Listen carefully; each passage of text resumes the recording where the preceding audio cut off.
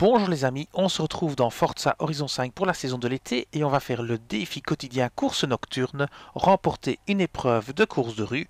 Vous commencez par prendre n'importe quelle voiture, celle que vous voulez, et puis on va faire une petite épreuve de une seconde, comme ça ça ira vite pour vous.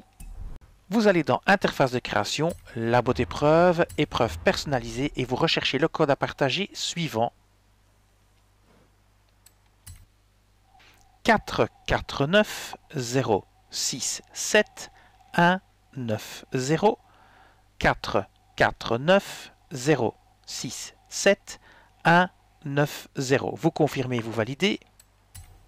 Vous trouvez l'épreuve 0 secondes run du tunnel et si vous ne voulez rien rater sur les épreuves 0 secondes, les épreuves que je fais pour vous, tout ce que je crée pour vous faciliter la vie, eh bien abonnez-vous les amis. On prend maintenant cette course, on fait solo, on prend n'importe quelle voiture, vous commencez l'épreuve, vous gardez simplement la gâchette des gaz enfoncée et ça va valider au bout de maximum une seconde. Et voilà. Vous venez de terminer votre défi quotidien, je vous dis merci et à bientôt pour d'autres vidéos sur Forza Horizon 5.